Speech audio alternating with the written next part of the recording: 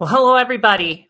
It's mid April, late April, mid late April. We're kind of there, tornado season. It's been a little slower across the plains, a little bit more busy to the east, especially in the Midwest. But that's about to change because the plains are about to get really busy really fast. Let's take a look.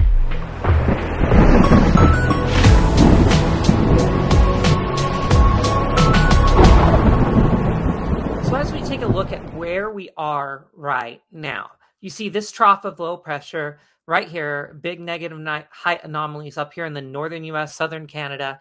This is an area where we'll be watching uh, to watch what this pattern does from here. Most every model shows this, where this trough moves off, goodbye, big ridge builds up here in the western US, big ridge. There's going to be a nice warmth building up here into the weekend, early part of the week. This is going to be the best weekend to get out and do stuff if you're a storm chaser for the rest of spring.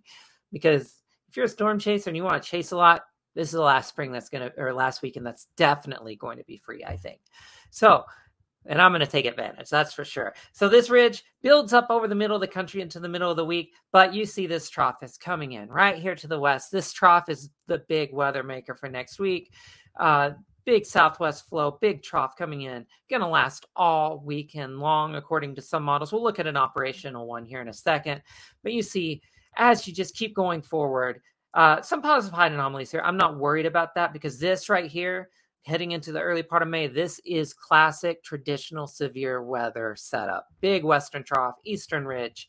Folks, that's big time. And it's just very consistent across models cross model suites. Let's take a look at the Euro actually, and I'll show you what I mean. It is just on everything. Every single model is showing largely the same thing. Uh, here you go. Trough moving out, ridge moving in. Then you have that first set of troughing moving in, starting into late week, into the weekend. You have more troughing building in. Look at that southwesterly flow all the way through early May, and it just continues. This is going to be a setup that's going to yield tornadoes over the middle of the country. Couldn't tell you what days, couldn't tell you where. I'm just telling you that this pattern right here, Eastern Ridge, Western Trough, that's tornadoes this time of year. It doesn't matter. I'm I you can take that to the bank. There's going to be tornadoes over the middle of the country late April and early May. Absolutely. Not even uh, I'm not even questioning that. Uh, if you want to really uh, dive in, let's take a look. Really, let's go back here. The GFS uh, GEFS can actually go out to 840 hours. So, and we're about to delve into the weeklies, kind of longer range stuff. So let's just go ahead and do that. Uh, you can see it does that. You have this troughing, and now we're beyond where it has been. And you can see there's still a pretty strong signal for some negative height anomalies out there off the west coast to the west. Some positive height anomalies. So as you're going into mid May, there may be a slight break. But I'm telling you, this is just like that that southwesterly flow almost through the entire month of May, and maybe some ridging building in toward the last part of the month. But I'm not even sure about that because this looks pretty good still. So I think the American models are looking uh, pretty potent. If you look at the euro now, let's take a look at the euro. These this is the weekly model. This runs out to 924 hours. It's a great climatological tool. Again, though, all the ca- caveats aside, things this is broad picture stuff. I can't tell you where. I can't tell you what days. I can we can just look at these by the week. So looking at this into next week, uh, you look at through next Sunday, you see it has those negative height anomalies. Moving into that next week in May, again, the average of every day southwesterly flow over the plains. You start seeing that maybe break down mid-month a little bit, but I, I there's still negative height anomalies here on the west coast, which means you're going to have storm systems and you're going to have uh, flow moving over the plains. Some positive height anomalies start trying to appear on the west uh, toward the latter part of the month, but you can see, I mean, it's just continuing. There's still, I like that shape. It's not a big ridge like this showing up. It's just more of a gradual trough, maybe even slightly weaker flow. But the euro is continuing to show what I believe is a pretty favorable pattern in the upper pa- air. And if you look at the weeklies, you look at the precipitation, this is where it's expecting rain to fall. This could be severe weather, most likely this time of year with these ty- this type of flow, it would mean uh, severe weather. You can see positive and precipitation anomalies all the way into mid May. Late May, it just continues. You have continued positive uh, precip anomalies across the plain, scattered a little bit weaker signal, but it's still there throughout May on the euro. So let's take a look at the American version of that, American version of the CFS, right? Um, let's actually go back. Uh, let's go back a run here to. Eh, well, well, we'll run with that. We'll run with that. Uh, let's go. Let's look at this. This is the CFS. I like tropical tidbits how they do it because it is the last 48 forecast. It averages it out. So this is kind of an ensemble of weekly models uh, in this suite. So let's take a look at it. Um, 500 millibar height anomaly showing a lot of the same thing here, right? Exact same thing into the first week of May, last week April, first week of May. Big trough continues that troughing into May and just continues that look general southwest flow the whole way through, right?